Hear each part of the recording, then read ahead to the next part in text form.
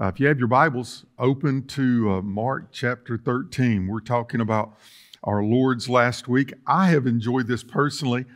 Uh, my study of the Word of God has been really good. And um, to think of the things that Jesus would experience that last week um, walking on earth, looking around at nature, seeing all those beautiful things that were there, knowing that his mission was about complete. All those times when he said that uh, my hour has not yet come, but this time he said, My hour has come. Those last uh, words of teaching to his disciples, the last examples of sharing uh, with them, the last exhortations for them to remember, those were there, and uh, it was a good week for him. Hard week, but it was a good week. So let me uh, ask you, if you would, to uh, stand with us in honor of reading God's Word. Mark chapter 13, verse 1. Then he went out of the temple. One of the disciples said to him, Teacher, see what manner of stones and what buildings are here? It, think about this. This is the, the God of heaven.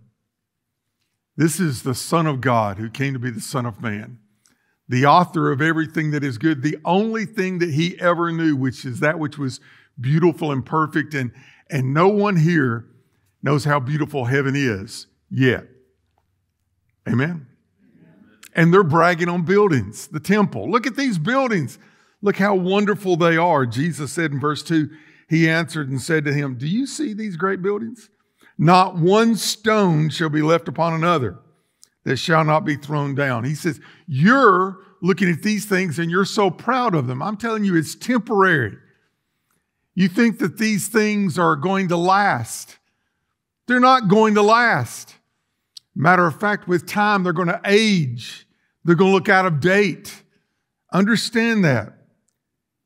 And then they move, verse 3 and he sat on the Mount of Olives. That's a, a hill looking across the valley to the hill that Jerusalem sat upon.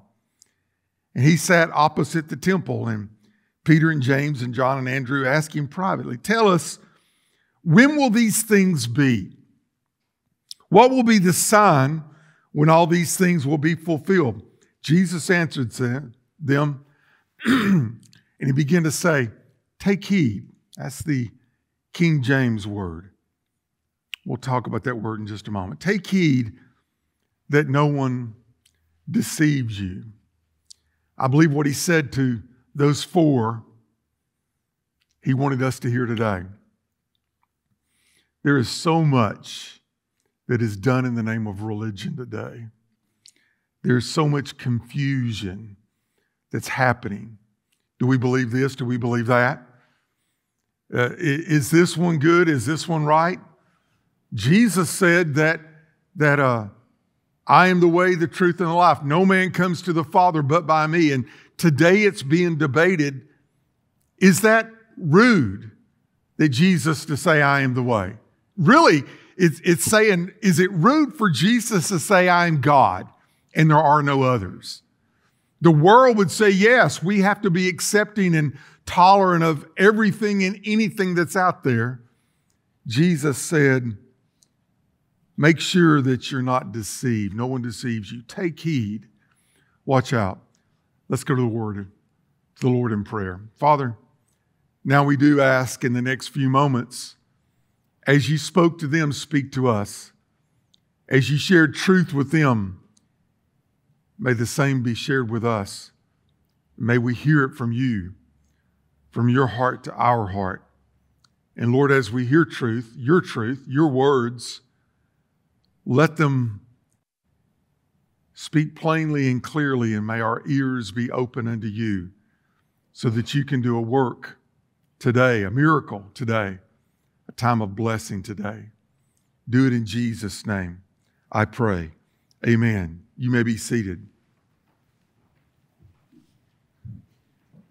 15 times he said these words take heed in the Gospels. 15 times he wanted us to, to hear something. The word means to see, to discern, to have to understanding as you observe it. Don't just see it, know what he's trying to tell us, know what the reality is that is there. It means to turn the thoughts or direct the mind to a certain way of thinking, to consider it, to contemplate it. Uh, it, it, it means, well, this is what Thayer's lexicon, lexicon says to turn the thoughts, direct the mind to a thing, to consider, to contemplate, to look at, to weigh carefully, to examine. There's a warning that he didn't want us to miss. Beware if you miss the warning. We need to hear it.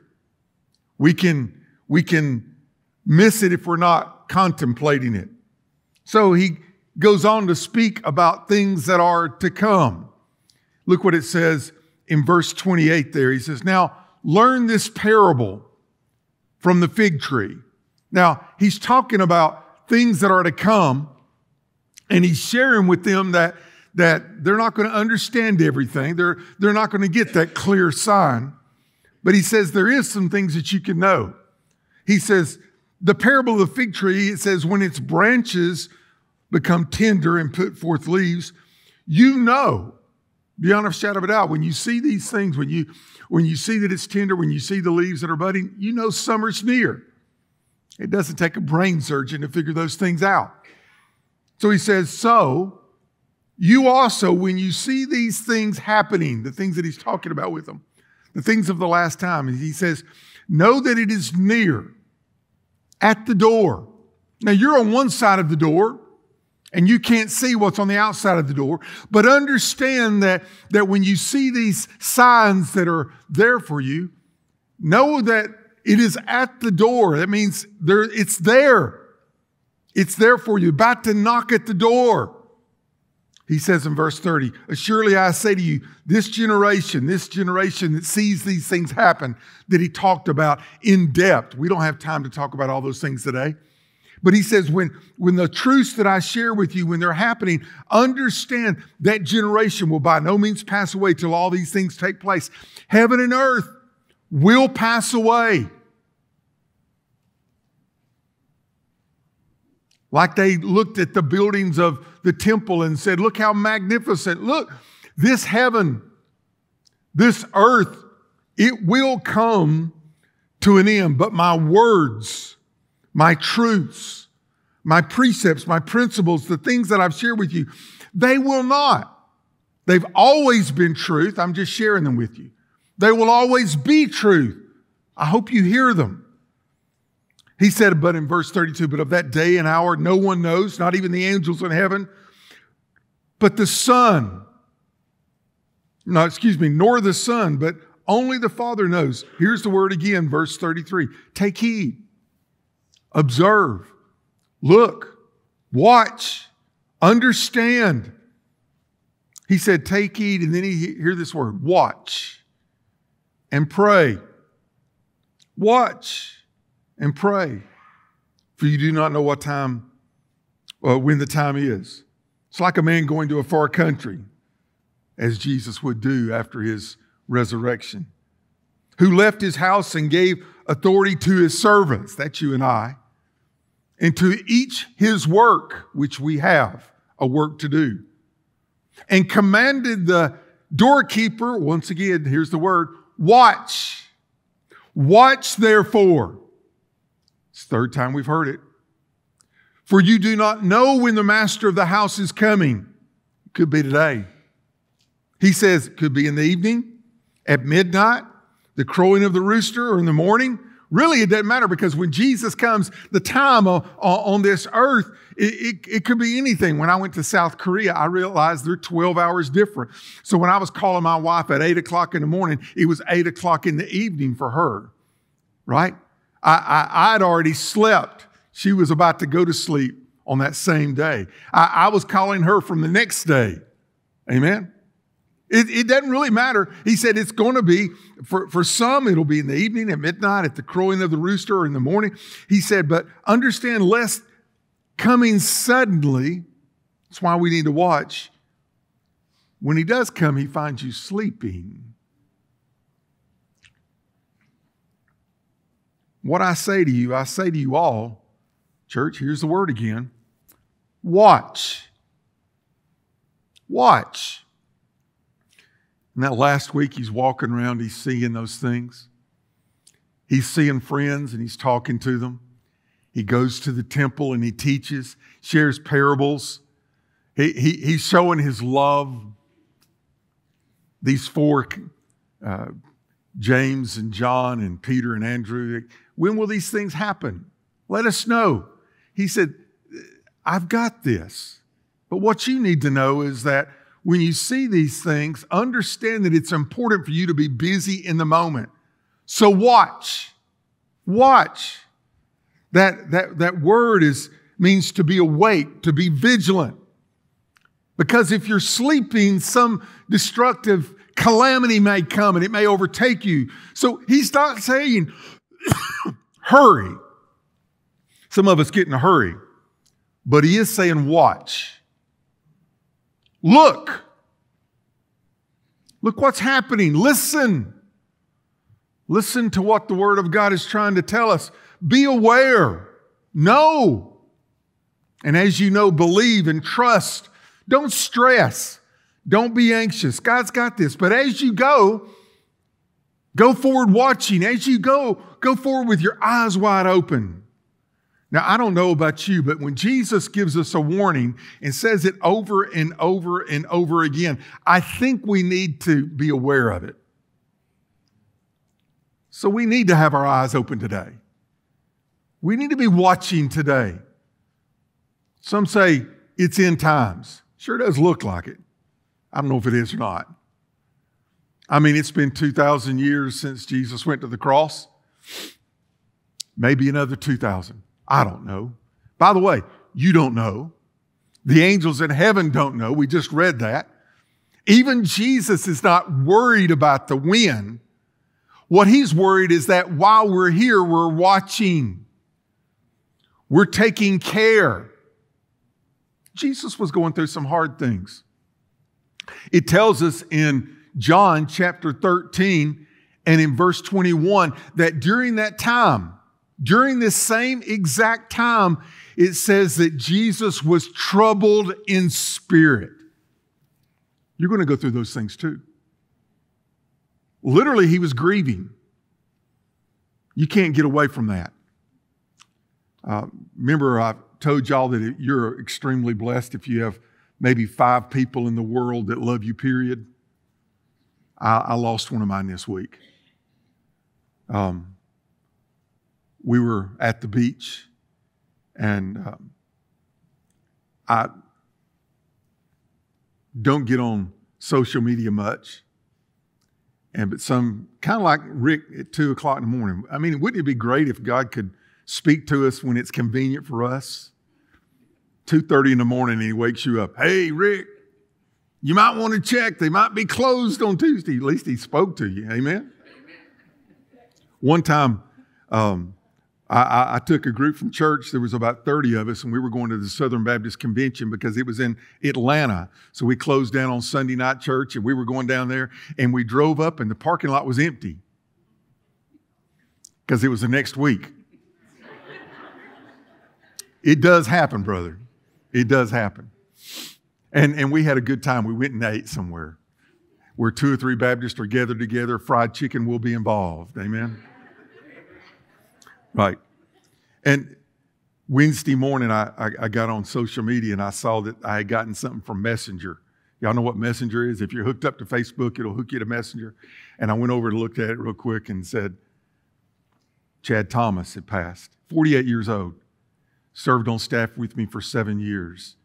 He did uh, evangelism. Uh, he was our evangelism pastor at church. We did upward sports. We saw, I don't know, a couple hundred people come to know the Lord, children through upward sports. We did flag football. We did basketball. We did soccer, and I knew absolutely nothing about soccer, but Chad me out, had me out there coaching. I was just like, kick it and run. I didn't know. But we had fun and kids came to know Jesus. Chad knew everything about me, I knew everything about him.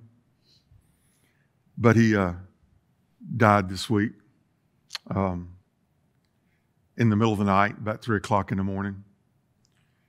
Um, he had, Lynn and I took him food. We took him uh, boxes of food and we took, Lynn cooked a ham.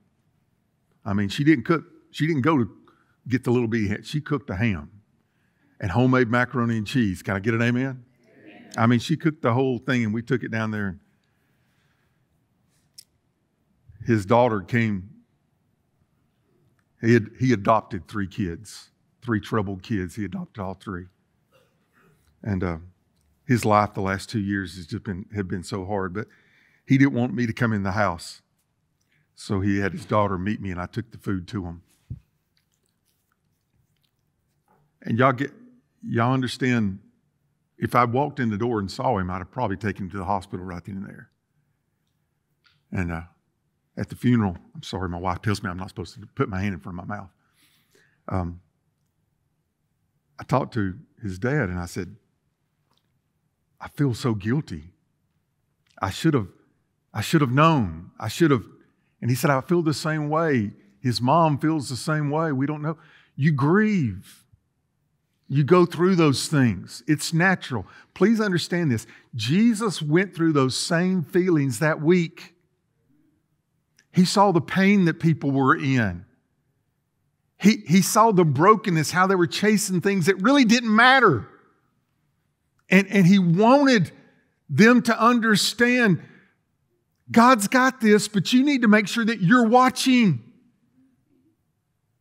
In, I said in John 3 21, or 13 21, it says that Jesus was troubled in spirit. But in a few verses later, when you get to John 14, he said, Let not your heart be troubled.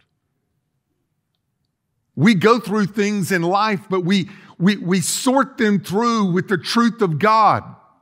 So I'm going to share with you a truth here that I hope that you hear. It's in this same context of time. It's in Luke chapter 22. And they're there in the upper room. And it, they had the meal together. Jesus said he looked forward to spending that time together with them, uh, uh, having one more meal with them. Look what it says in verse 15. He said, uh, This is Luke 22, verse 15. He said to them, With fervent desire, I desire to eat this Passover with you before I suffer.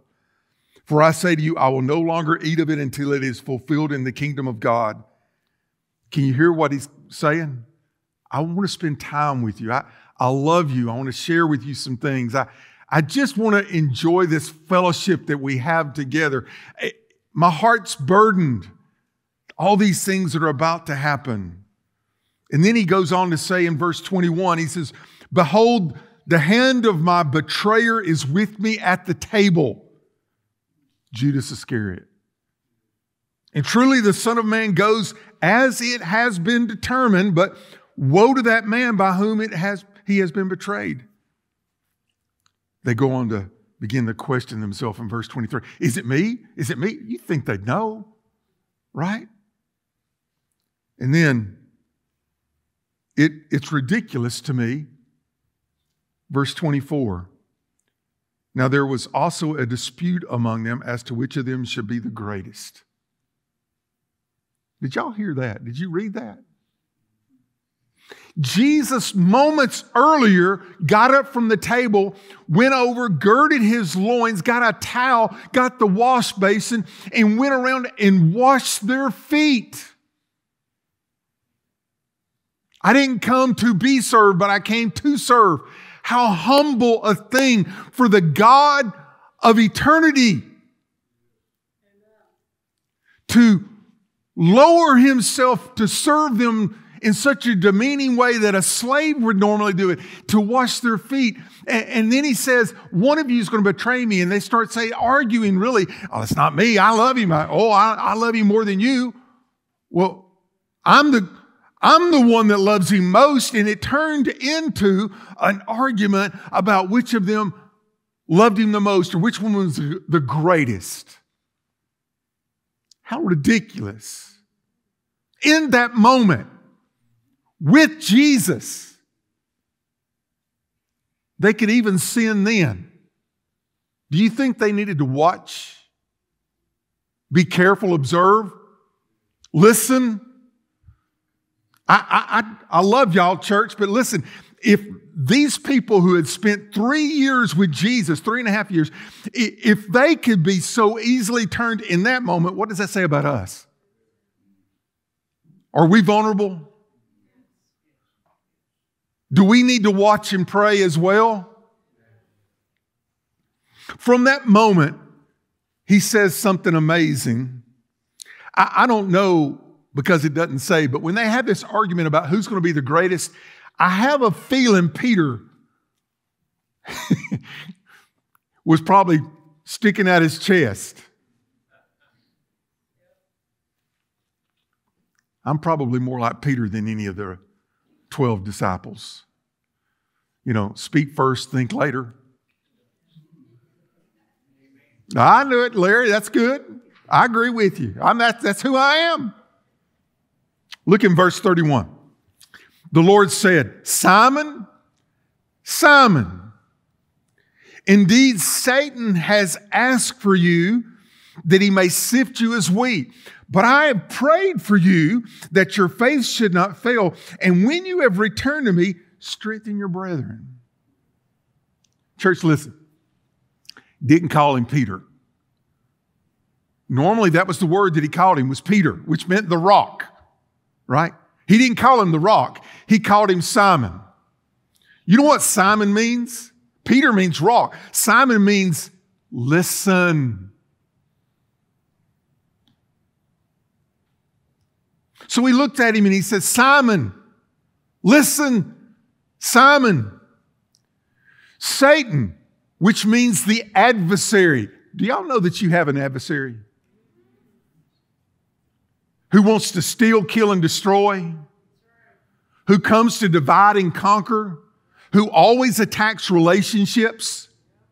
who always wants you to pick apart somebody else because they don't meet your standard, he can find those little gray areas and he can, he can major on the minors.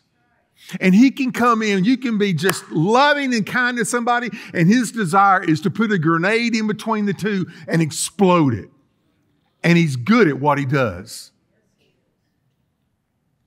Your adversary has come to me and has asked for you.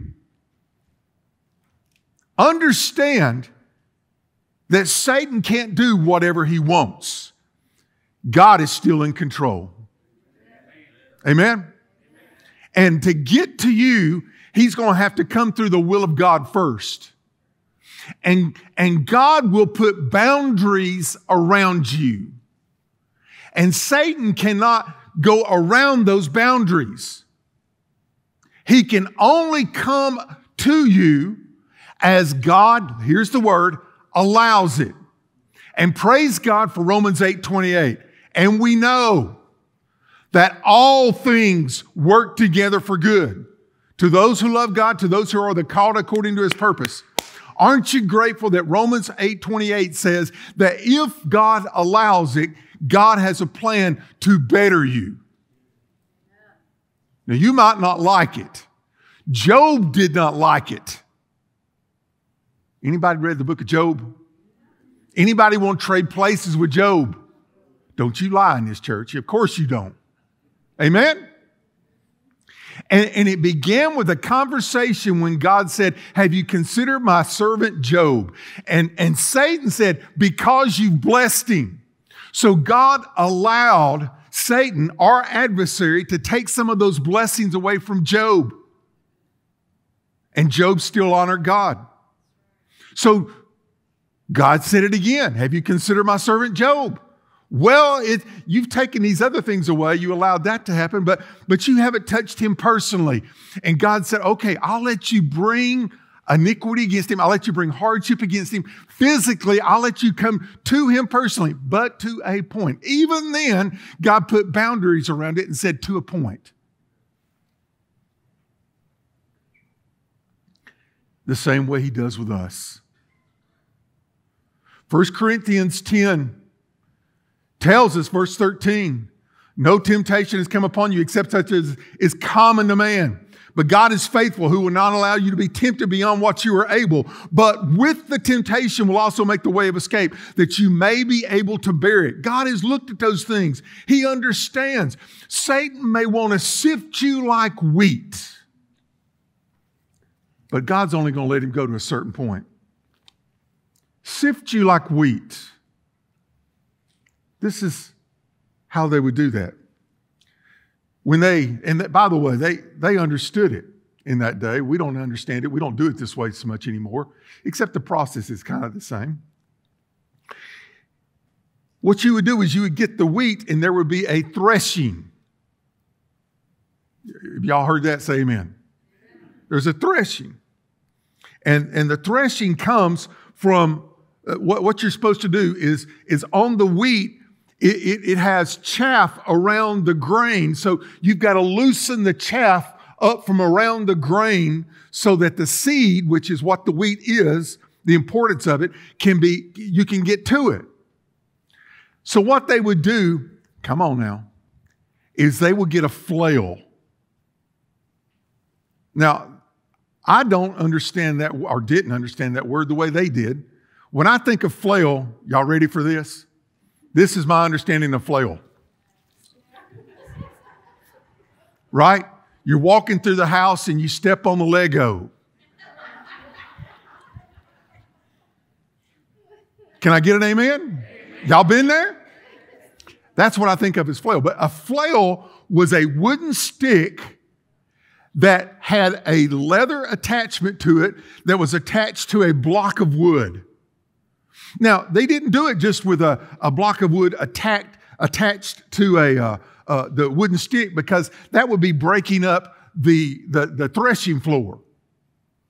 But it would be a, a, stick with this piece of leather attached to this block, and it, they would come around and hit it to hit the wheat to divide up the chaff from the grain. Could you just imagine if you were not good at that, you'd hit yourself in the head? Right? Oh, he hadn't been doing that long. Look at the bruises on him. So it, that's why we get the flailing around. They would take the flail and they would come and they would beat it. And then the, not only the threshing of it, the winnowing. So what you've got is you've got all this combined together on the floor, the chaff and the grains. And they would take it and, they, and put it like in a shovel type thing and throw it up in the air. And the chaff, so lightweight, it wouldn't take anything but just a small, gentle breeze and it would blow the chaff away. But the weight of the seed would make it fall down. There needed to be a separating. He says, What is going to happen? Now, I know y'all aren't going to like this, but let's just let the truth be the truth. God's going to allow us to be flailed. Because there's some things in our life that need to be broken up so that the truth of God can come to its place. I'm grateful that the grain of wheat doesn't feel it, but we do. Have you ever been flailed on? Simon, listen to me. Simon, Satan has asked for you that he may sift you as wheat. Simon knew what that meant. Jesus was saying, I'm going to allow him to flail you. What he wants to do is to separate you from God. But what Satan means for evil, God means for, good. say good and loud. Good. That's exactly right. So God allows it. You have an adversary. Watch, Simon. Be careful. Take heed, Simon.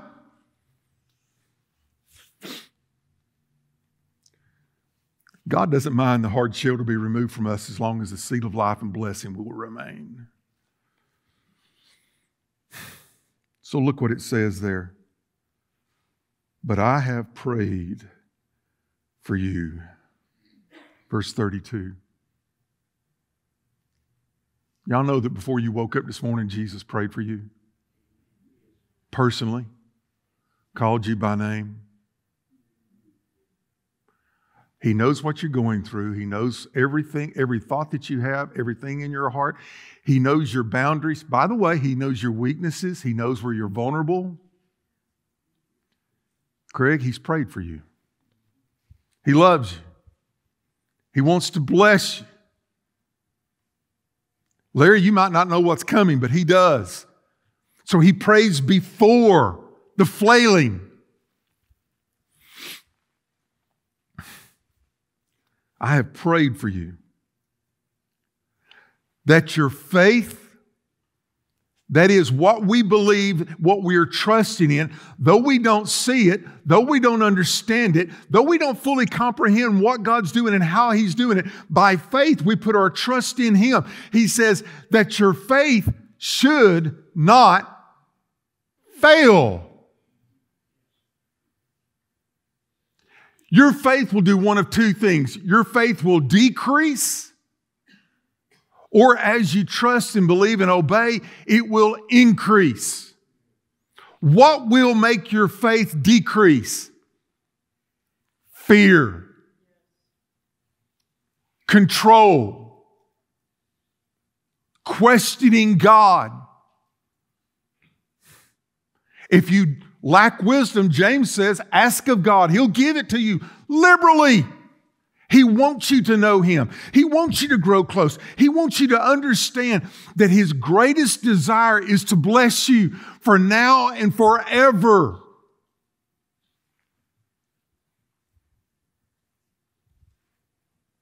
So that your faith will not fail. And, and then He says, and by the way, and when you have returned to me,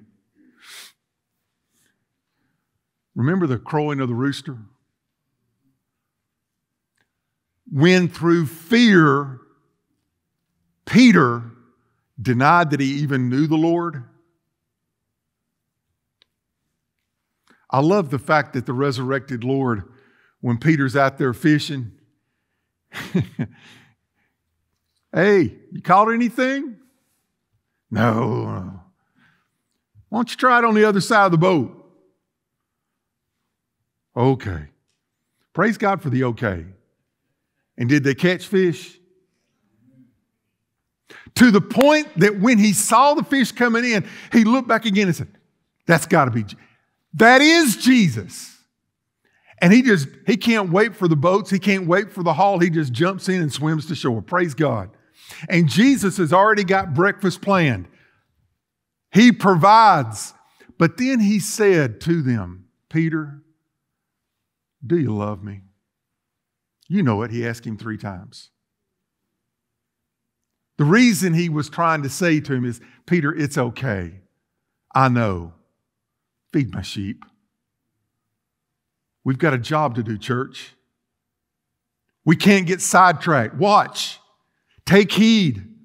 Satan wants to divide and conquer. Satan wants to attack you. Satan wants to take you down through temptation to a place that, that, that is of pain and hardship. But God has prayed for us as a church. God has prayed for you individually. So that when you fail, your faith, your trust, your allegiance, when you have been flailed upon, but you find the promises of God sure and true, at that point in time, you will be enriched by Him. You'll have a wonderful time of worship. You'll have a wonderful time of praise. Your soul will be enriched because you are loved like Jesus loves. You're protected and you're kept. When Chad died this week, I, I, went through the grieving process. I wasn't angry with God. I was more angry with myself because I thought, why didn't you just bust down that door and go in and, and pick him up and take him to the hospital whether he liked it or not? But I can't do, we can't do that, can we? But then I went through the process and Thursday, I, I, I called my small group. I text my small group. I, I need my small group. By the way, for those of you who are not in one, you need one. Your pastor needs one. And I called them and said, I'm hurting. And Thursday afternoon, it began to lessen a little bit. Didn't it, Lynn? Lynn was worried about me. And Friday was, we came home. And yesterday, you go through those things. I told the church, I said, he's supposed to be preaching my funeral. I'm 13 years older than him. That, this don't make sense, you know? But yet, I realized he was in heaven, absent from the body's present Lord. It did all that health issues that he had were gone. The blessings of God. I'm going to say the word. I say it to y'all all the time. I'm going to say it again. Forever. Y'all like that word? Forever. Watch. Take heed. Satan wants terrible things to happen. God wants to bless. You know, I got much more to say, but I think we just need to take what God's already said and just decide are we going to be the same when we leave? Or are we going to listen to the admonition of the Lord?